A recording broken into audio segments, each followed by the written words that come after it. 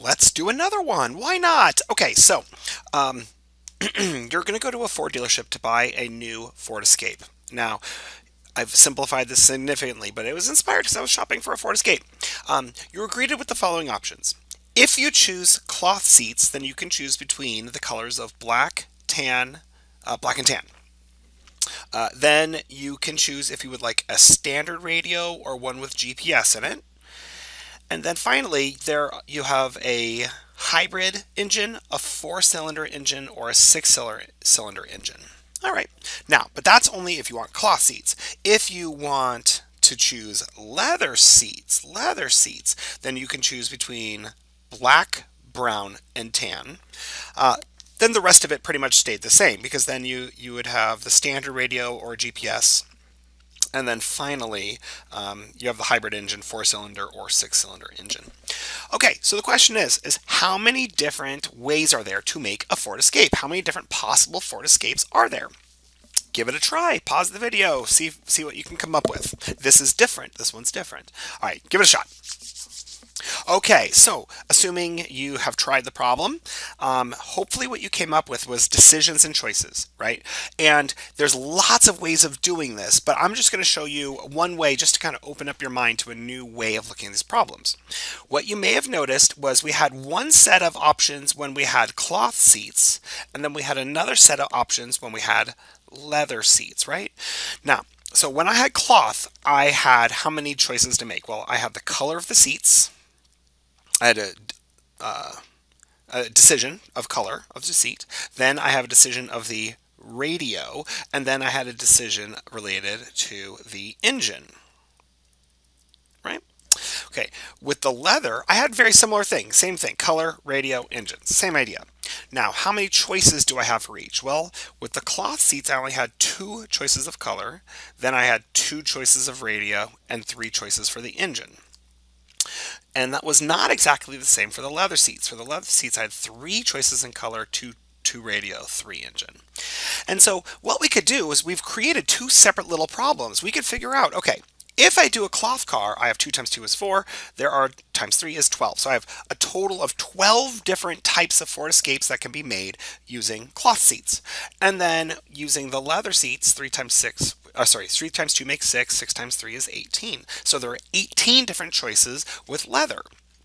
Uh, leather with an H, not letter, or whatever that would be. Leather. Okay, much better. Now, the question is, how do these things go together? And logic will get you there. Logic gets you there. Um, but if you really want to apply the addition or multiplication principle, you just say to yourself, is this a decision with the number of choices and a decision with the number of choices, and then those are going to go together to make one final product. So do I choose my cloth, then my leather, and put them into one car? No! So that's not multiplication principle. That is not decisions and choices. I have one decision to make. What is my decision?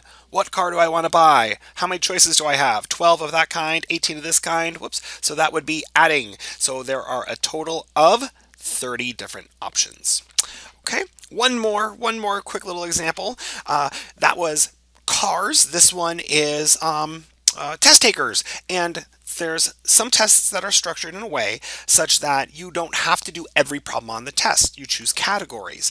Um, so this one is saying you're taking a test that has three sections. The first section is named A, then B, then C.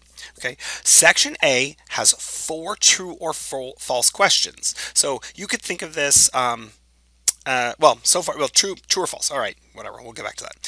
Section B has four multiple choice problems.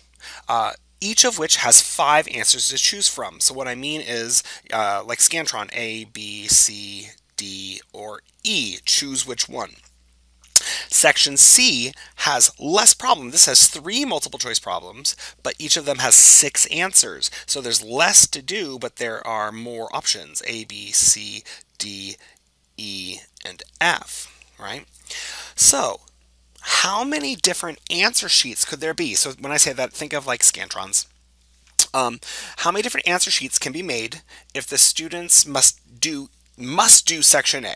They have to take section A, but then they do B or C, B or C, but not both. So a student would do like so for example, a student could do section A or B or A or C, right? A, they all have to do A though, okay? So think about how many different ways, uh, there, how many different answer sheets there could be. And think of it like as a Scantron where you have problem number one and they would fill out true or false, then problem number two, true or false, problem number three, true or false. And they would just go through this answer sheet um, and they would just fill in either the first, you know, what was it? Three, uh, sorry, four true falses. So four true falses. Then they just either they would fill in the next four numbers, so they do five, six, seven, and eight, or they would do the next three numbers, just five, six, and seven, uh, depending, and then they would fill in the appropriate little bubble uh, corresponding to the letter that they chose. Okay, hope that makes sense. Give it a pause, see what you can come up with, and here we go. All right, so decisions and choices. If you think of it as decisions and choices, it usually falls out pretty much easier. So if you were a student taking a test, the first decision you have to make is, I have to do problem number one. Problem number one, how many choices do I have? Two. It's either true or false.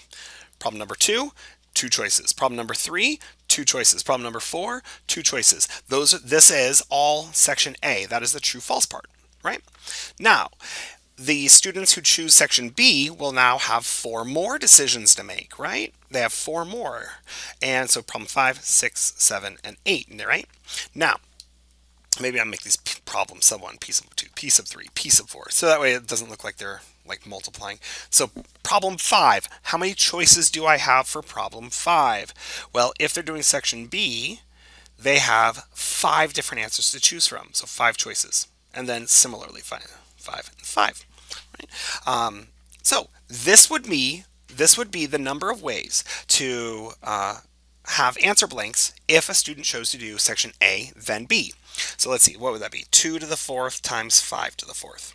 But what about those group of students who didn't do A and B? What about those groups of students? Well, everybody has to do A, right? So this part is going to look the same. But for then, for problem 5, problem 6, and problem 7, they don't have the same four choices. Now they have, or sorry, they don't, not four, they don't have five answers, five choices, they have six. Okay, so therefore, what we're going to do here is fill in 6, 6, and 6. So therefore, this would be, what, 2 times 2 times 2 times 2, so that's 2 to the fourth, 6 to the third. Okay, let's uh, get some numbers here.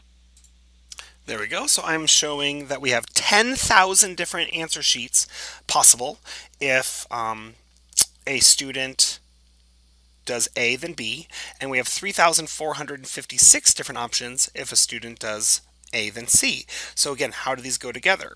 Well, it's, you don't get to do A then B and A then C, then put those together to make one test. No, no, no. You have this or the other one. You're there, so therefore they are going to add.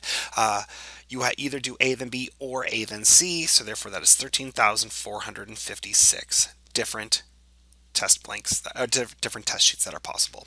Okay, um, so thus concludes our section on uh, added addition and subtraction, or sorry, addition and multiplication principle. Uh, good luck on the homework.